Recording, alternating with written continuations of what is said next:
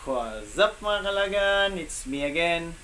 For today's video, samahan niyo ako kakabit ng ating bagong 10 HRU or Hydrostatic Release Unit.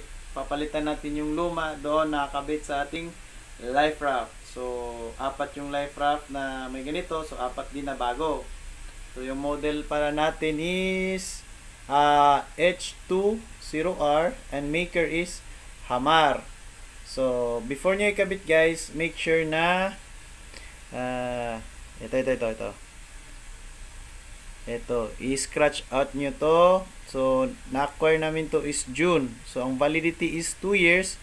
So, punta ka dito sa year. Tapos, 2023 ngayon. So, plus 2 years. So, 2025. So, ayan, para hindi ka mahirapan. So, scratch mo muna bago mo ilagay. So, tutorial na rin kung paano to ilagay doon kasi hindi lang pwede na basta-basta ka lang kabit tsaka tali, may proper procedure din to. So, ano pang iniintay natin? Let's go!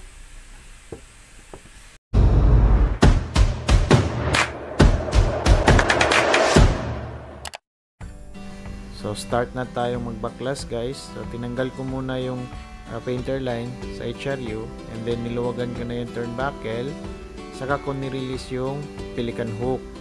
After that guys tinanggal ko na yung HRU na connect sa life raft cradle. Then kukunin natin yung bago guys. So kung paano ka nagtanggal guys ganun din ang pagbalik. Guys baliktarin mo lang yung procedure.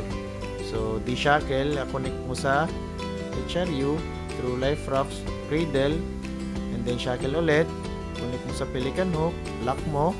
And then turn buckle tisahan mo guys. After mo magtisa ibalik na yung painter line guys sa weak link ng HRU yung pula na yan guys. So i-connect mo yung painter line to weak link gamit ang D-shackle. So ito naman pangalawa guys. Same procedure lang din guys kung paano ka nagtanggal at nagkabit sa una guys. So parehas lang yan guys. Ikaw na lang mag-a-adjust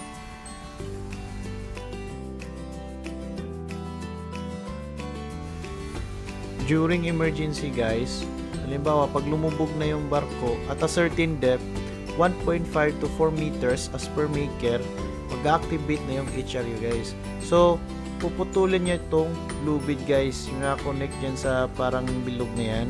Sa loob niyan, mayroong blade na matulis guys. So, yun nga, as a 13 depth, magre-release, puputulin niya. Tapos, yung life raft natin, float free na siya. So, aangat na siya pataas. So, para mag-activate siya guys, ito namang painter line natin, nakakonect pa rin dito sa weak link ng ating HRU.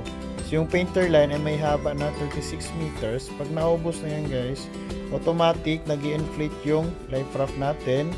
So, pag na-inflate na yan, may puwersya na siya pataas. Tapos, masisira na yung uh, weak link guys. So, na- nare-release, nahihiwalay na siya sa barko.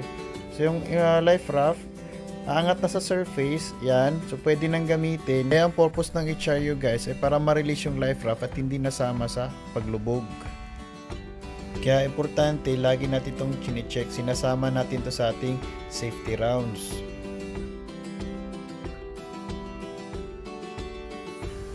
Ito na guys, nalagay na natin lahat guys, yung bago nating HRU. So, ito na yung forma niya guys. Oh.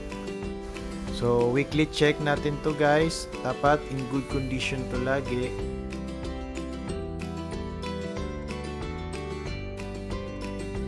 So, ito naman guys sa starboard side. Same procedure lang din.